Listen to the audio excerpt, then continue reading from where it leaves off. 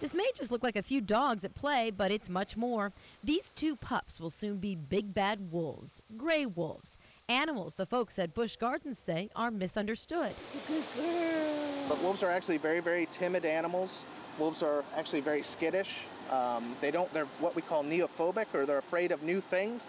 We do a lot of work with these pups to, to have them feel comfortable in situations like this. 13 News got up close and personal with Kaya and Bayo at the park this week. Right now, they're part of a pack of four.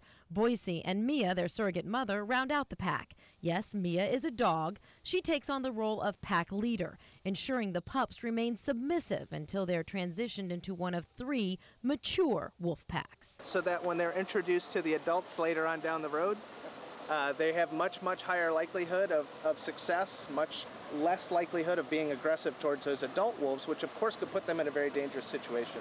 Ultimately, these wolves will be part of Busch Gardens' Animal Ambassador team. But that gives us a chance to talk about the important role that wolves and all apex predators play in their natural environments, in their natural habitats, kind of keeping uh, the ecosystem in check.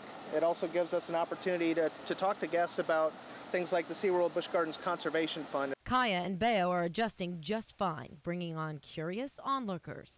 But Boise's still a little shy and will be introduced to the public once the zoological team here determines he's ready. You can check out Kaya, Bayo, Boise, and Mia here at Wolf Valley through Labor Day and then on weekends during Howl-O-Scream. 413 News in Williamsburg, I'm Vanessa Coria.